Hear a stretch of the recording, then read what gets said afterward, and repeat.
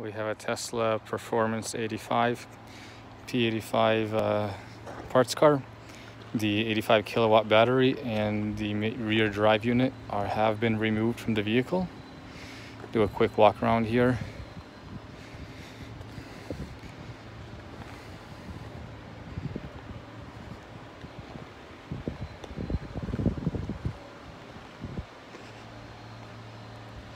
The rear suspension was busted out. We installed a new lower and side control arm.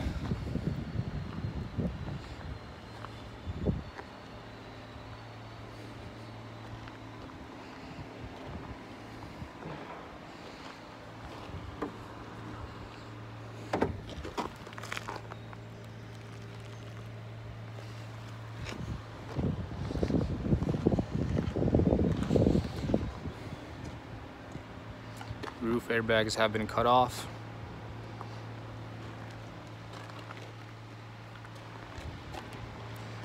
Roof glass is good.